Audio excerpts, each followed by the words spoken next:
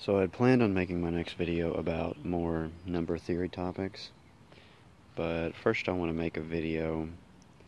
Um, originally I thought I would take some pictures of this plant, but I don't really think you can get a a feeling for this the scale or the size of this this uh, squash plant that I have growing here in just a still picture. So this is just one uh, example of a leaf. And you can see it's maybe between 5 and 10 times the size of my hand. And they're really all like this.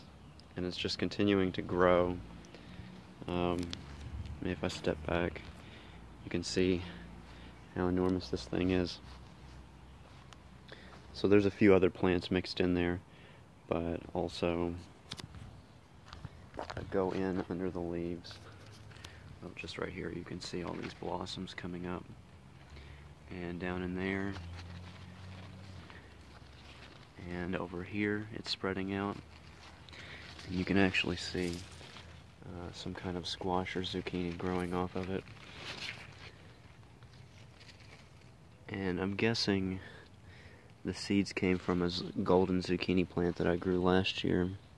But I don't really know because this is a definitely a volunteer. I did not plan it.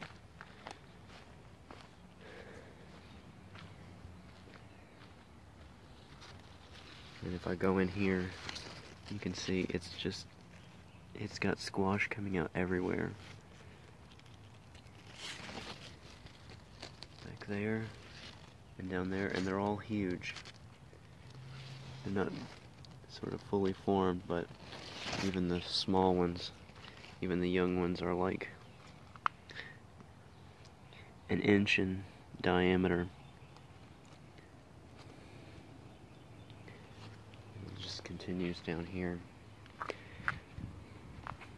All the way over here to where these uh, straw bales have been sort of destroyed.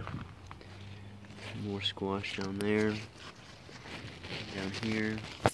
And just more blossoms and it just keeps growing and growing. Yeah. so that's just uh, one gigantic plant. It's all one plant. Uh, maybe as an added bonus, I've got a tick seed sunflower that's growing in here too. You can kind of see over here